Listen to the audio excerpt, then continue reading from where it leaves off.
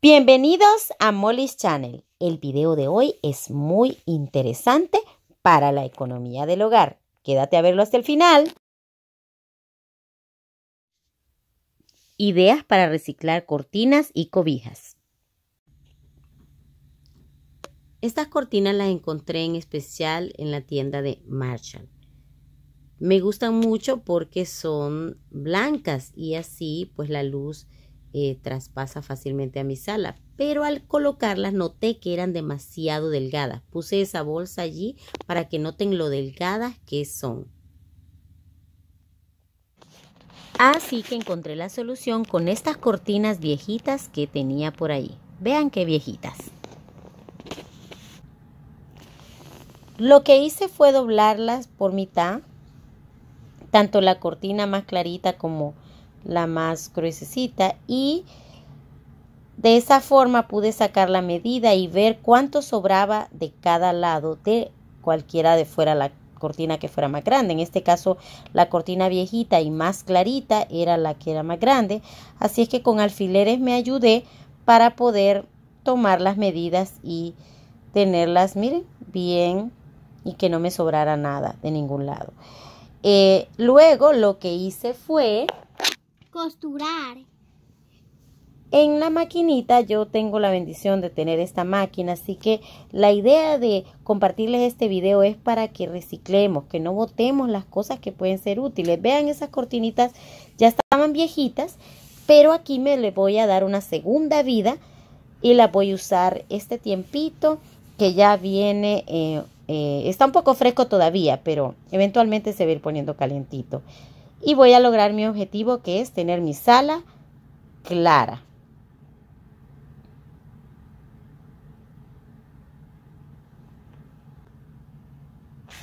El mismo procedimiento le hice a las cuatro cortinas. Las costuró. Y eso fue lo bueno, que tenía cuatro cortinas viejitas y cuatro cortinas nuevas. Como les digo, las encontré en especial y, era precisamente lo que yo quería. Me encanta el color blanco y así estoy ahorrándome dinero y no estoy botando las cosas que pueden ser útiles en mi hogar. Así que, miren, me quedaron perfectos. Óigame, ayudarse de los alfileres es algo fantástico. A colgar las cortinas, ya tienen atrás su, su otro capa de tela, vamos a decir, que fue las cortinitas viejitas que le, que le costuramos. Ni siquiera se nota tanto, pero sí quedaron más gruesas. Y para mostrarles, les traigo aquí la foto del inicio, cómo se veía, miren la bolsa y ahora cómo se ve más gruesecita. Estoy muy contenta con el resultado. Hasta incluso en traspasa menos el, eh, cualquier frito que quiera entrar. Así es que estoy muy contenta. Espero que tú te motives a reciclar tus cortinas también o cualquier cosa que tengas en tu hogar. Para la cobija. Quiero mostrarles esta cobija grandota que yo tenía dos, pero una se me dañó. La intención es darle más uso a esta cobijita que es grande. Así que yo tenía esas rojas para el tiempo de Navidad. Ahora ya las voy a quitar, pero solo tenía esta blanca. Así es que lo que estoy haciendo es doblándola para ver cuánto me sobra y reutilizar el pedazo que me sobra. Y de ahí me van a salir las dos sábanas que necesito para mi sala.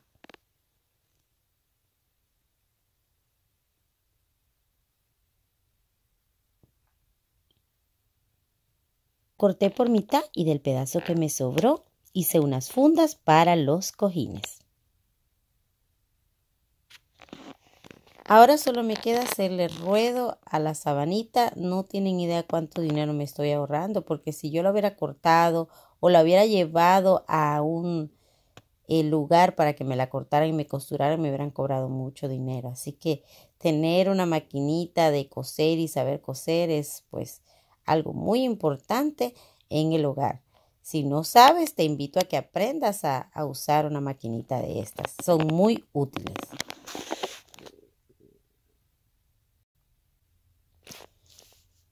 Esta fue la parte que me gustó más de este proyecto, hacer las sobrefundas para los cojines, ya que ya días quería tener unas fundas que fueran así peluditas, suavecitas, pero cuando iba en línea notaba que estaban demasiado caros los precios. Así que qué mejor que hacerlo yo misma y ahorrar ese dinero. Aquí lo que estoy haciendo es uniéndola del área donde estaba el ruedo y luego le uní en la parte donde fue donde corté pero me ayudé de esos alfileres para no perder la medida. Los alfileres son muy útiles cuando tú haces eh, alguna costura. Y así no te queda la justa medida lo que estás costurando. Si no sabes costurar a máquina, te invito a que aprendas porque te ahorra mucho dinero. Luego le corté el exceso para que al darle vuelta no se hiciera bulto y esto es lo que les hablaba. Miren, dejé una parte donde está el ruedo eh, original que ella traía para que por allí pueda entrar la funda. Miren, lo costuré hasta cierta medida y le dejé un espacio para que pueda entrar el cojín. Ese cojín era el cojín que usé para Navidad, estaba rojito así, bonito, de cuadritos, pero en realidad se me estaba rompiendo y ya no quería seguir con colores rojos para esta temporada de primavera. Así es que lo que hice fue darle un makeover. Para sellarlo voy a usar unos este, fielcro que eh, se pega y lo que hice fue cortar unos pedacitos para luego pegárselos al cojín.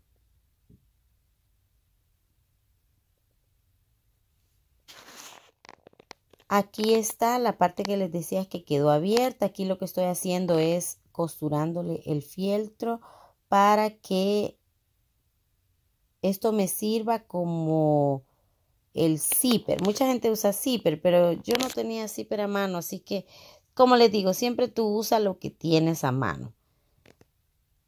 Y miren, este fieltro este, se adhiere muy bien y lo único que tienes que hacer pues es costurarlo y después ya puedes quitar tu cojín, tu sobrefunda cuando esté sucita y la lavas. ¿Ven? Miren qué bien. Ahora quiero que noten ahí como sella. Sella perfectamente. Se lo hice a los dos cojines que me salieron de la tela que me sobró. Aquí está una de las sabanitas y uno de los cojines. Me salieron una para cada mueble.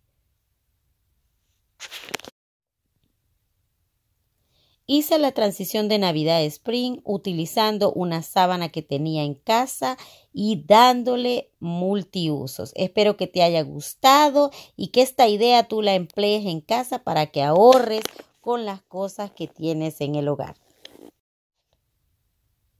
Este fue el resultado final. Espero que te haya gustado mucho la idea de reciclar las cortinas y las sábanas para que ahorres dinero en tu hogar. Si te gustó, déjame un dedito arriba porque eso me motiva a seguir creando contenido. Comenta y comparte el video para que otros sepan de este canal. Si hoy estás por primera vez aquí, te doy la bienvenida y te invito a que te suscribas y actives la campanita para que no te pierdas ni uno de los próximos videos. Dios te bendiga.